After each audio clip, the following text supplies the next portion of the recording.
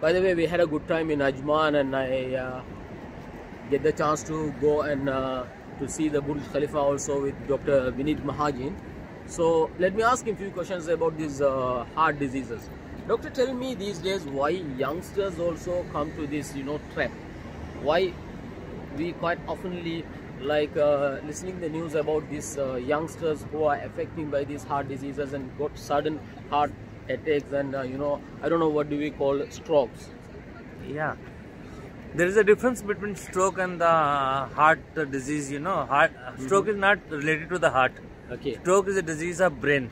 Okay. So what do you call in a local language as a heart attack, Mhm. the attack to the brain is known as stroke. See, we have two uh, very important organs in our body. One is brain and one is heart. Both are interconnected with each other. If one is affected, other one will also be affected.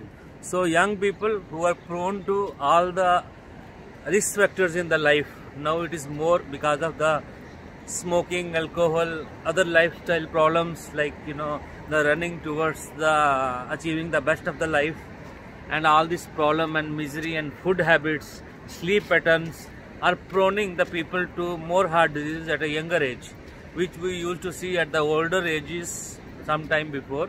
Now very young people in, in 30s, 40s are coming with a very very difficult type of the heart disease, and uh, you know if not taken care of properly, uh, it is difficult for them to make up.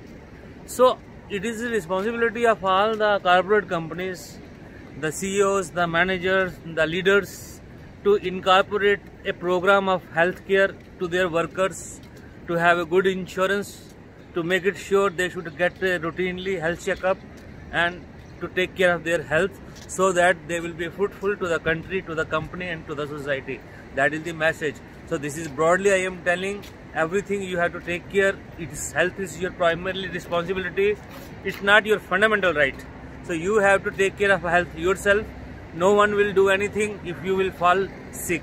So be careful, be healthy and be safe. Thank you very much from Dubai.